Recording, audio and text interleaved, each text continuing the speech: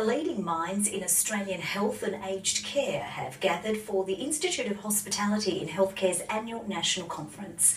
Running for three days, it brings together delegates from a variety of health and aged care organisations, showcasing innovation through exhibitions, lectures, and workshops. Here just to promote uh, what's happening around Australia with technology, with food, with um, menu management, um, refrigeration systems, new oven technology. networking, education, development, uh, sharing ideas, initiatives, innovations. This year, there's a whopping 36 presenters on a variety of topics. Attendees coming from as far as Abu Dhabi. The event concludes with a conference dinner on Wednesday.